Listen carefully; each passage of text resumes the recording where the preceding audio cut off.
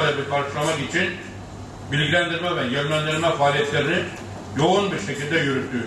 Ayrıca Manisa COSGAP Hizmet Merkez Müdürlüğü'ne destek oldu.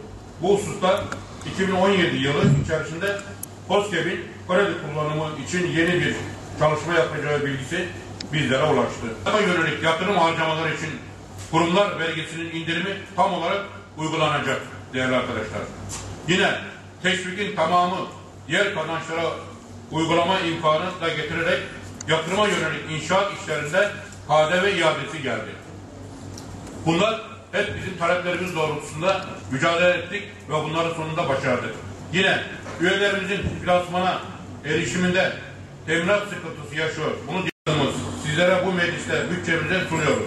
2017 yılı bütçemizi 1.450 TL gelir, 1450 TL gider bütçesi olmak üzere denk bütçe olarak hazırladık.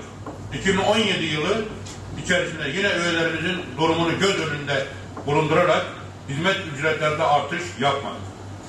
Çünkü ortamın ne olduğunu hepimiz bildiğimiz için bizde bir katkı olsun diye herhangi bir zam uygulamadık. Faaliyet belgesi, oda kayıt belgesi ve buna benzer evraklardan ücret almıyoruz. Yine üye aidatlarında artış öngörmedik. Yıllık aidat tarifemiz 2016 yılı ile aynı olacak. Ticari sicil hizmetlerindeki hizmet ücretlerini düşürdük değerli arkadaşlar. Yine önemli gelişmeler ticaret sicil hizmetlerinde artık ticaret sicil hizmetlerinden noteri aradan kaldırıyoruz değerli arkadaşlar. Bunlar da çok önemli konulardan bir tanesi. İşletmeler 2017 Ocak ayından itibaren şirket kuruluşu, hisse devri ve buna benzer işlemler noter olmaksızın ticaret sicil memurluk, ticaret sicil memurluklarımızdan yürütülecek. Üyelerimizden en çok şikayetçi harçlarla ilgili alıyorduk. Her platformda bu husus dile getirdik. Tahsilat yetkisi istedik ve sonunda artık üyelerimiz ticaret sicil iş etmelerinden doğan harç ve ticaret sicil gazetesi bedellerini odamıza ödeyecek. Bunu da uygulamanın 1 Ocak tarihi itibariyle geçiyoruz. Artık üyelerimiz işlem için vergi dairesine gitmek, bankaya gitmek zorunda kalmayacak. Değerli arkadaşlar, üyelerimize söylüyorduk. Bundan sonra artık hiçbir üyemiz vergi dairesine, bankasına gitmeyecek. Bütün işlemini odamızda yapacak. Bu kolaylığı da getirdik. Üyelerimiz bu konudan çok rahatsızdı. Onun için bu e, üyelerimiz açısından çok iyi oldu. Yeni bütçemizin kurumumuza ve üyelerimize hayırlı olmasını 2017 yılının üyelerimiz için sağlık ve mutlu, bol kazançlar geçmesini temenni ediyorum değerli arkadaşlar. Değerli arkadaşlar, eğitime de, asayişe de oda olarak çok büyük katkı yaptık. Bakın şu meclis kurulmadan önce odamızın geliri neydi? Bugün biraz önce tabloda gördünüz 100 bin liranın üzerinde yıllık odamıza gelir kaydettik. Bu başarı sizlerin başarısı. Yani odamız artık kendi ayağının üzerinde durabilen bir odam konumuna geldi. Yaptığımız hizmetlerde de Turgutlu Ticaret Sanayi Odası olarak çok iyi konumdayız. Ankara'da Rıfat Bey ile görüştüğümüzde de ben cumartesi günü e, Manavgat'taydım. Turgutlu Kaymakamlığı'nda Nazmi Bey'in de hepinize ayrı ayrı selamlarını iletmek istiyorum. Dile getirdik pamukla ilgili sorunu. Pamuğun e, yarattığı açığı palm yağını ithal ederek yılda 300 bin ton palm yağı ithal ediyoruz. Döviz dışarıya gidiyor. Eğer pamuk üretilseydi bu 300 bin ton dış, palm yağı dışarıdan ithal edilmeyecekti. Palm yağı bu sene Malez, Malezya'da olmadığı için e, palm yağı sıkıntısı çekilmekte. Bu nedenle sabun üreticileri palm yağı bulamadıklarından dolayı bu hafta yüzde 34 bütün sabun üreticileri zam yapmak zorunda kaldı.